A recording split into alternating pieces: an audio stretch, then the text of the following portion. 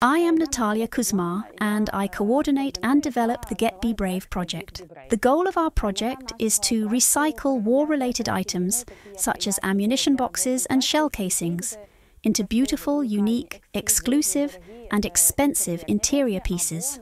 For example, we have this innovation of ours.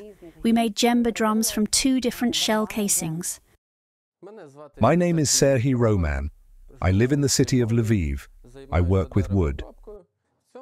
In this project, I handle the processing of these boxes.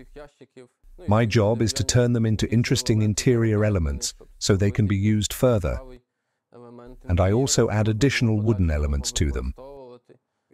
I am especially interested in making bambetels because they are both functional and practical at the same time.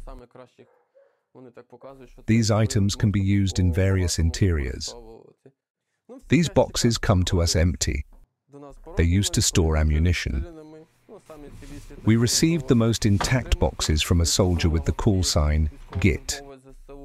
It was part of his project, which aimed to create something interesting, transforming the remnants of war so that they would not just be wasted but could be turned into something useful.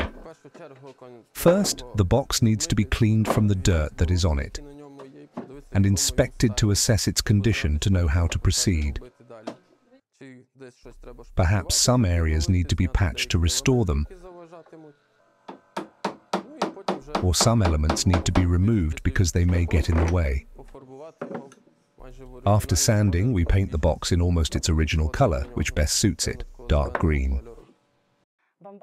The bambetel is a type of purely Ukrainian furniture. It is a wooden couch that has a compartment that opens up, allowing you to store things inside.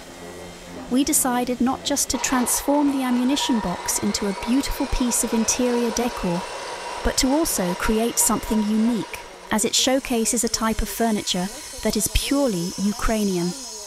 In fact, these pieces of furniture once saved many Ukrainians in different ways. When Russian occupiers came into every Ukrainian house, they did not know that there were solid couches that opened up. People used them as hiding places for important documents, and sometimes even to hide children. This was because the Russians knew nothing about our bambetels. Together we have already created 10 different items which were later sold at auctions. The proceeds from the sales were directed to support the Ukrainian army.